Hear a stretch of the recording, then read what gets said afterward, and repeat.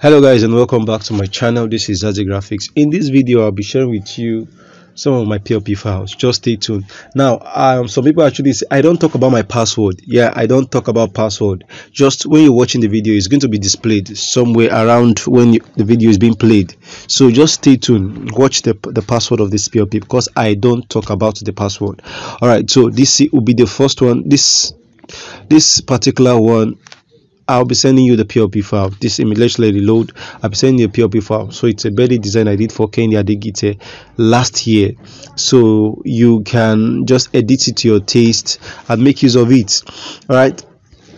So, so the PLP file just like PSD in Photoshop, CDR in um, CorelDRAW, where you can just come and the, the the original designer will give you his design. You can edit to your taste adjust it and probably just remove the person's image and add your own image you can use for your own project.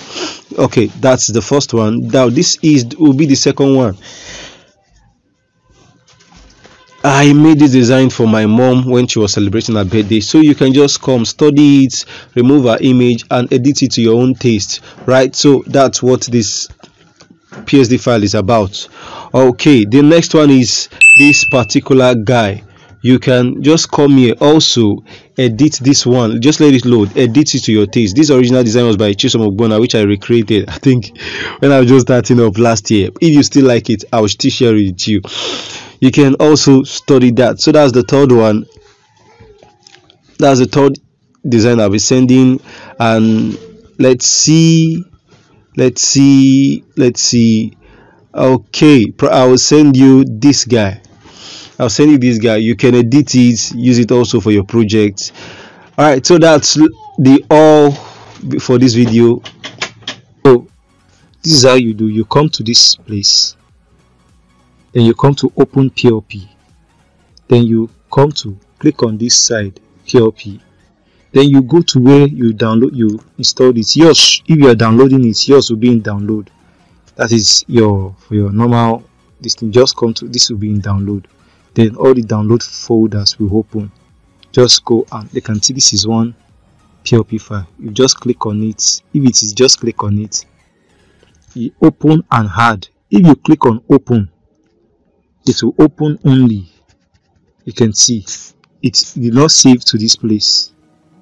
It did not save to this place.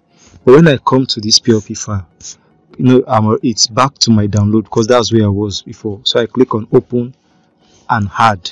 so when I come to my projects, it is now saved here to my own PLP file. It has been saved to my PLP when I go to my Pixellab preset I can see it there. So when I click on this I can now edit it use it to my taste.